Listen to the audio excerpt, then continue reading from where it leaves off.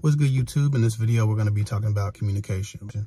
Listen, a lot of times when I'm on the calls with my clients, especially if it's a couple, and I ask them, hey, what's the biggest issue you have in your relationship, right? They always say, everyone always says communication. Everybody says communication, communication, communication. We just need to fix our communication. We need to get better at communication.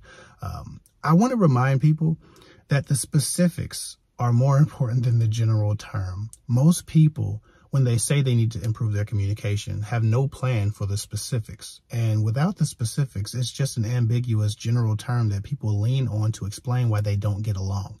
Okay, so uh, this video is going to be about five ways to specifically attack improving your communication. I wanted to break these communication habits into five ways because, to be honest, you know, uh, small bites at a time is how you kind of get through a nasty meal. I feel like too many people would try to just be great or just tell their partner, hey, you need to be great at this tomorrow. You need to be better at this.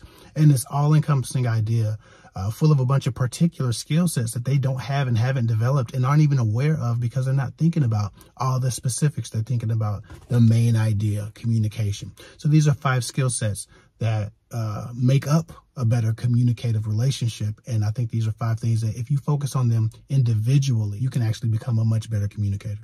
But before I start, this video is sponsored by Aura. Are you worried about your personal information falling into the wrong hands? You should be.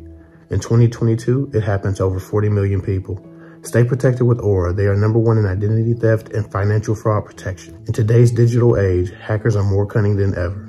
Aura's advanced technology and expert team are here to defend you. With Aura, you'll get real-time alerts ensuring you'll always know when suspicious activity occurs and what to do about it. Want to know if your personal information has already been stolen? Sign up right now to see if you've been compromised. And if the worst happens, their 24-7 support team is just a call away, ready to help you resolve any issues quickly and efficiently. And if that's not enough, don't forget that Aura backs up their promises with $1 million worth of identity theft protection insurance. Sign up for Aura's two-week trial today and experience peace of mind like never before. Visit aura.com forward slash KevHick today. Now on to this topic. Um, then I got a list here. So with that said, the first thing that I wrote down when I was thinking about this was conversational chemistry, right? What does that mean?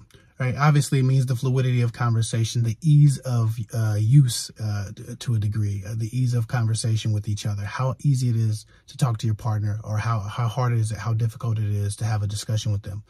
One of the worst things that I see is two people who maybe have different interests or maybe have different speech patterns or communication styles just assume that they're not compatible and they don't have any conversational chemistry.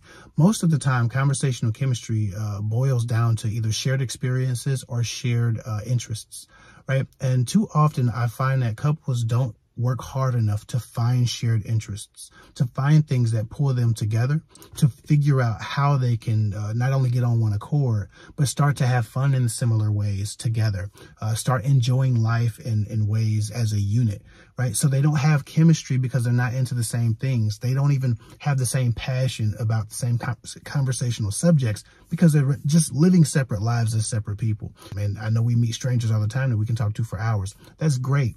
But most of the time, especially after some time has passed, conversational chemistry may lapse. You need to redefine uh, what your interests are uh, that you would share together. You need to re uh, ignite the passion in your relationship by searching out new passions that you can share together.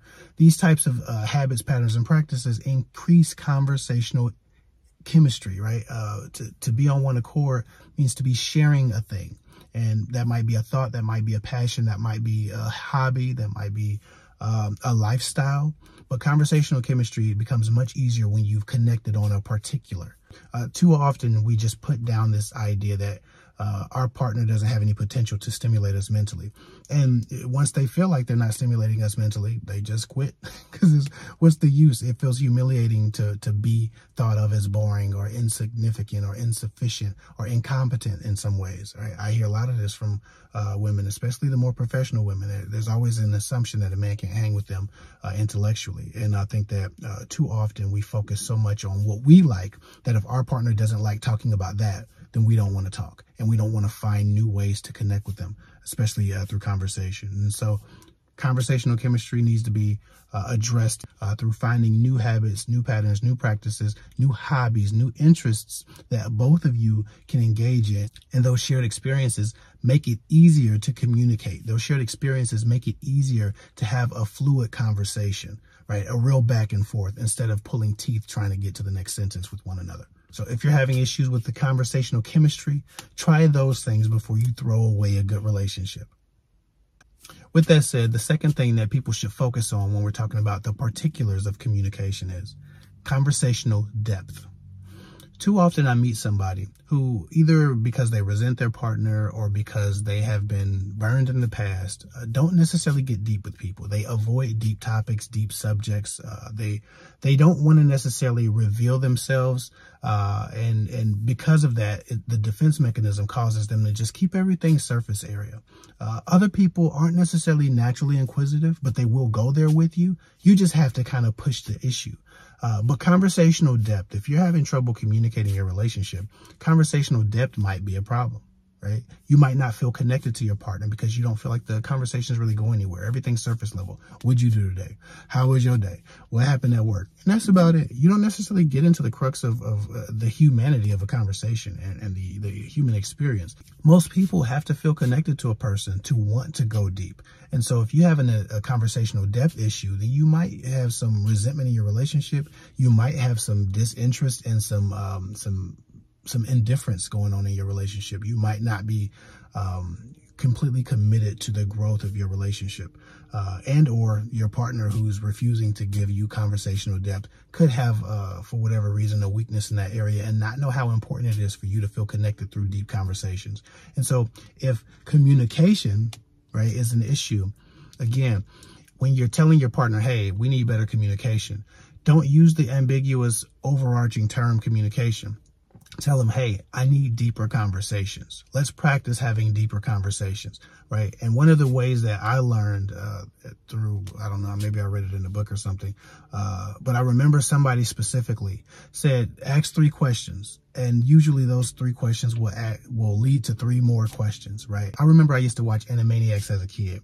And um, one little girl in there, I don't know, I think it was like Dot, right? Yakko, Wakko, and Dot were the Animaniacs. And Dot would always ask why and so they would meet some villain or some person that was doing something and Dot would ask him a question. Hey, sir, why do you want to take over the world? And he'd be like, well, because I want to do this. And she'd be like, why? and she would just keep saying why. And it would turn into, he, they would obviously get pissed off. But in real life, why is an amazing question. Why opens you up to a lot of understanding and why stretches the conversation. Uh, because there's always a new why. There's always an, a reason to expound on a, on a topic or, or, or an idea. If communication is an overarching issue in your relationship, okay, don't overwhelm your partner with the idea that they need to communicate better and don't overwhelm yourself with it. Focus on the particulars. Maybe we need to practice having deeper conversations Monday. Maybe we need to practice having a conversational chemistry or or uh, adding something to our relationship that will lead to conversational chemistry on Tuesday, right, or, or on Wednesday, whatever. Break up the the goal of communicating better. And don't forget, sometimes people need to be triggered into going deep by talking about the things that they care about the most. And that's another issue in relationships. We don't care about the things that our passionate, our, our partners are passionate about. So we don't ask questions. We don't really allow them to stretch themselves. And then when we're talking about something that's important to us, we want to have a deep conversation. It don't work like that. We both have to give each other uh, the the space and the bandwidth and the attention for the things that we're passionate about, respectively. And so, uh, if you're having trouble achieving depth in conversation, maybe you're not addressing or showing enough interest in what your partner likes, and that makes them feel a little bit uh, resentful, and they don't want to go deep about the things that are important to you, or the ideas or, or, or overarching themes that maybe plague you know your mind. They want to just keep it surface level because you don't seem to care about what they want, and so quiet resentment a lot of times is what kills communication and kills relationships. The fourth way that you can improve your communication or the fourth uh, specific uh, about communicating is conversational frequency. Okay, a lot of couples aren't talking enough. They're not speaking enough, right? They're not having enough conversations. They're too busy. Uh, the day-to-day minutia gets in the way. Maybe they talk a couple of times a week and they just come home and fall asleep. They're tired. They're busy. Scheduling conversations, scheduling quiet time where you could just sit next to each other or cuddle and not turn on the TV, not be doing something, not be on your phones, but just be speaking to each other, just be sitting in each other's energy until a conversation sparks. That's important. And a lot of times that space has to be planned. You need to have peace sometimes to settle into uh, having more conversation. You need to create opportunity through setting up downtime, right? Social downtime, away from the phones, away from the TV, away from whatever thing you do to keep your hands busy. Uh, sitting and being quiet with your partner long enough will start to spark communication and it will increase frequency. But that space and that quiet time needs to be frequently planned. Because to be honest, we only speak to each other as much as we have the opportunity to speak to each other. So you need to create the opportunity by creating the quiet time, putting it on the schedule. Reconnecting in this way also reduces anxiety quite a bit for both parties, especially as it pertains to how they think the relationship is going or just life in general. We all need time to rest. And sometimes we can rest in each other. So if you haven't, do your best to try to book quiet time with you and your partner where you don't have anything else to do that may increase conversational frequency. Moving on, the fourth specific or the fourth particular uh, is conversational length, right? Um, and don't think about it as we need to talk for a long time and that will improve our communication. Think about it more like when you have a doctor that has really good bedside manner and doesn't rush you out of the office.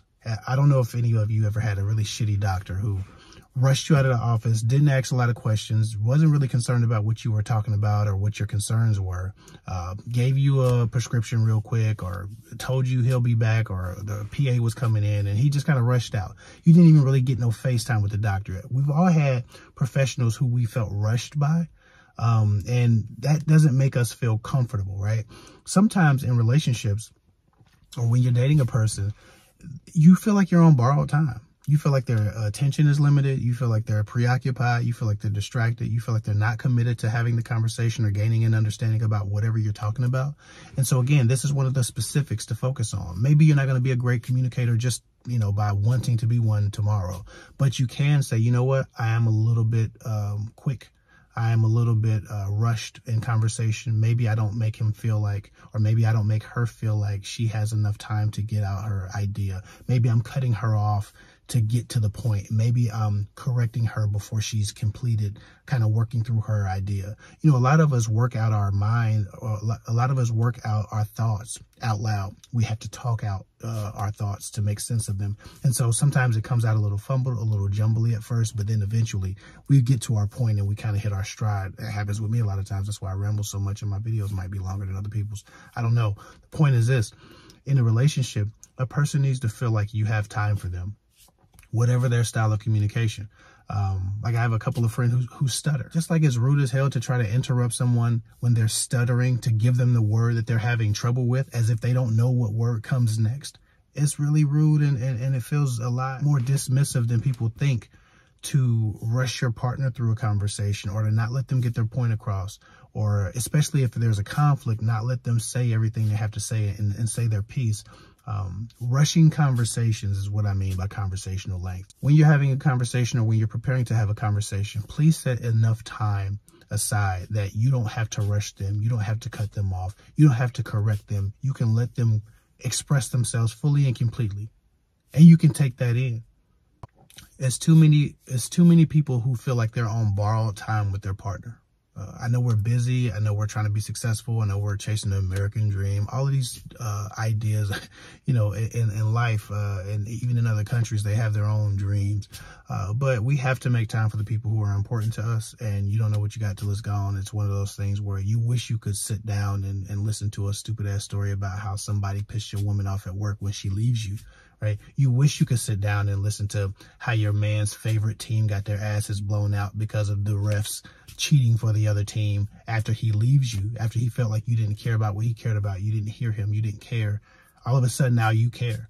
Um, if you have communication issues in your relationship, focus on the particulars. What do you suck at? Because if you have communication issues in your relationship, I can guarantee both of you are deficient in one of these five areas. You're both underwhelming in one area or another, and it makes the other person feel a little bit resentful or a little bit less enthused about trying to be better in the area that they suck at. So like a good doctor with good bedside manner, be patient and give your partner as much time as they need to get stuff out and express themselves. Uh, the fifth particular or specific that will help you when you focus on improving your communication. Again, and this is day by day. Pick one to focus on. You're not going to be great tomorrow, but you can focus on one specific every day to try to figure out how to become better and be more connected to your partner. So again, with that said, the last specific or particular here is vulnerability slash transparency. Uh, a lot of people don't have a problem with conversational chemistry. They don't have a problem with conversational depth as long as the subject matter isn't them, as long as it doesn't require them to be vulnerable. Some people are really good listeners and they'll listen to you cry, they'll listen to you break down, they'll listen to you express your passions and vent and whatever, but they won't give you anything back. So it doesn't feel reciprocated. It feels like you're being observed in conversation and, and instead being connected with. Um, vulnerability and or transparency uh, are two huge issues that people have in, in relationships, right? So transparency, uh, meaning I don't tell you uh, what you need to know. I don't give you pertinent information. And vulnerability is I really don't share of myself while we're in the conversation. Either of those ideas uh, can plague your conversation and plague your uh, communication in your relationship. When you're not transparent with a person, they feel like you're hiding something. It makes them feel irritated. It makes them feel dismissed. It makes them feel disrespected right? It makes them feel like they're uncared for. When you're not vulnerable with a person, it makes them feel like they can't connect with you, like you're not growing, like you're not close, like you don't love them because we want to feel connected to the people we love. So vulnerability might be a man's issue more often than the woman's issue unless that woman has a traumatic dating past, right? Men are taught to be tough, not to be vulnerable, uh, to hold it inside, to deal with our own shit, to pull ourselves up by the bootstraps, to suck it up, right? So we have trouble being vulnerable. A lot of times women who have traumatic relationship experiences uh, grow very callous and they stop being vulnerable to men who truly want to love them. When they find a good man, when they do find a good man, they're not vulnerable with him. They don't open up. That man doesn't feel like he's making progress, right? So that specific and particular vulnerability, it means a lot to people because it, it makes them feel more connected and more in love. And transparency, again, most of the time you have a, a woman or a man who's been cheated on who need more information, not less information. Where you going? Who you going with? Where you been? Right? The basics sometimes. And then other times it's, hey, how do you feel about this? Right? Be transparent. Did I upset you? Am I bothering you? Am I doing everything right? Some people need more feedback than others. And so when you're not willing to give feedback, again, that puts a, it stunts the growth of communication in other areas because while that person might be very transparent and they may even be very vulnerable, when they don't feel like you're being transparent and you're vulnerable, they may they may not go as deep with you because they don't they don't expect you to really reciprocate. They may not try as hard to find things that you both like because they don't feel like you're really giving to that part of the relationship. They may have less frequent conversations with you, which might bother you because they don't feel like you're going anywhere or you're giving anything real to the conversation. You're not being genuine when you're there. Or you're not telling them what they need to know, or you're not telling them anything important because you don't trust them. And so they feel dismissed. Again, when you have communication issues in your relationship, it means both you and your partner are deficient in one of these five areas. And sometimes your deficiency triggers their deficiency and vice versa. So if you want a better relationship and better communication, check yourself and be honest about where on this list you fall short and try to improve that one day at a time. Anyway, I hope this helps. Sorry for the long video. Follow me at KevHick24 on Instagram. If you need coaching, go to kevhick.com. I'll get with y'all later.